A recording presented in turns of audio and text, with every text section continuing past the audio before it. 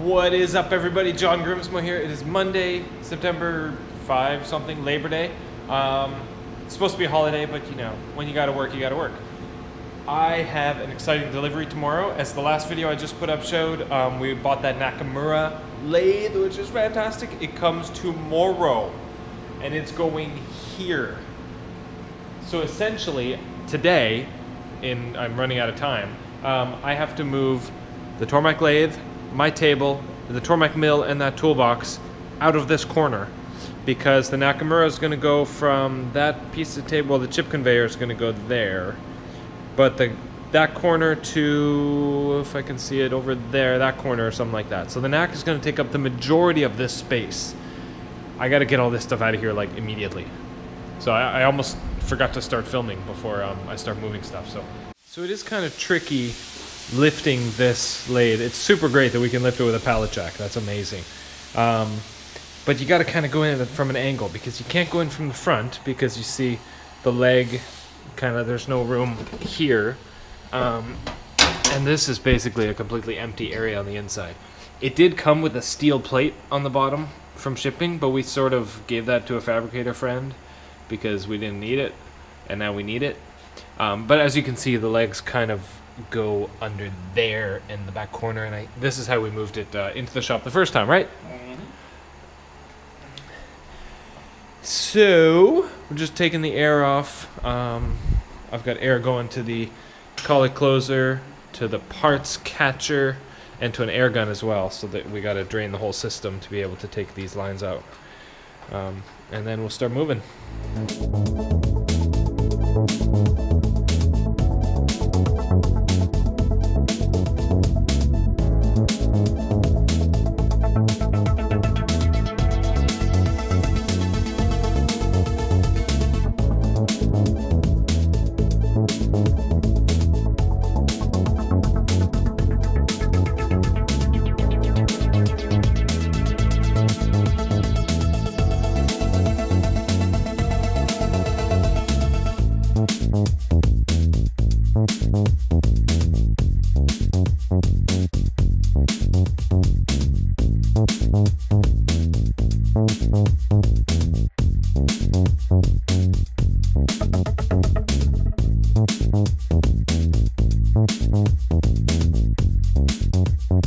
Alright, Tormach lathe moved over there.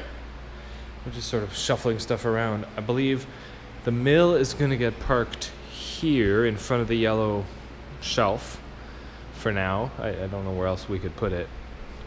Um, because we still use it a little bit, so it's, it's going to go there for now. The lathe is going to float until we figure out what to do with it. Um, I wanted to point out so we've got the mill here with just enough room behind it to walk behind it. And on the side, it's it's like a tight fit to get past here. And it's always really awkward, like, you know, getting back here if you ever have to. And you have to do it more than you think you do. Like, with the Mori, uh, the, the instruction manual basically says you want three feet behind it. And now we can comfortably walk behind here, even with the uh, transformer right there. So when you're placing equipment, it is really nice to have the room to get around it. Um, to do maintenance, to change out the coolant tank, to like do stuff, get to the airlines behind it. So just keep that in mind when you're placing all your stuff. We're, we're trying to figure that out with the Nakamura too. Um, again, they want three feet behind it, and uh, should should be a good amount of room, just like with the Mori. So we're just getting all the ancillary stuff. The Erik just put the foot pedal inside. We're unplugging the computer so that Erik can roll the cabinet away. Um, the lights are plugged in, but we can change that. Done. That airline's got to come out, and then we're good. The mill is a lot easier to move than the lathe because it's it's like centrally weighted. Put the pallet jack right in from the front, and it's all centered. The lathe is very awkward and off-centered. Yeah, it would have been almost nice if they made the lathe just slightly wider or something, so you can get it in like nice. Yeah. I guess there's different sizes of pallet jacks, but Yeah. I think this is kind of standard. Yeah. I don't know. I mean, pallets are pretty standard. True.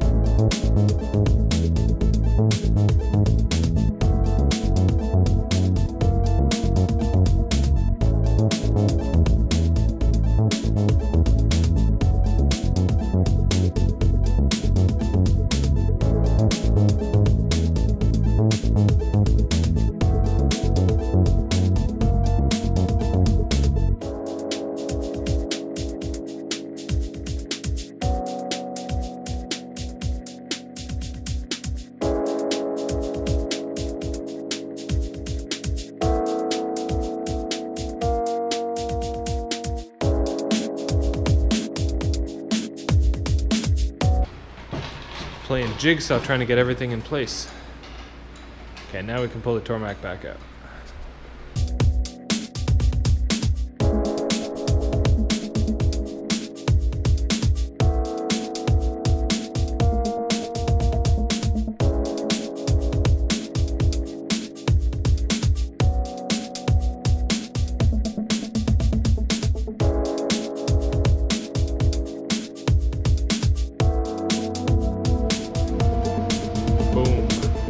Tormach Mill in place, right next to the beast. This might be a little tight, but we're skinny people. This little gap right there. There is enough room to walk behind it, maybe a little bit tighter than ideal, but we can still access everything on the shelf, you know. Get behind the mill to do whatever we need to do. Um, any tighter and it starts getting tighter here to the stairs or there to the Mori or whatever. We can always move it. Like pallet jack makes that easy. It's looking good. Now just clear out all this stuff, sweep it, clean it. So there's going to be from this tape, that's where the corner of the new lathe is going to be. We've got maybe four feet to the wall and I don't know, six feet to the back. So there will be a corner back here. However, there will only be maybe two feet from the lathe to the mill, two and a half maybe. Um, so you can't really get anything through here, like a table or a workbench, or you know, unless it can be disassembled and, and put through here. So I, I'm not exactly sure what we're gonna put in here. Maybe folding tables or something, but we'll figure it out. Very excited. Are you ready? Um, all right, so we got the Tormachs moved. We're gonna go home now. It is Labor Day. It's like vacation day.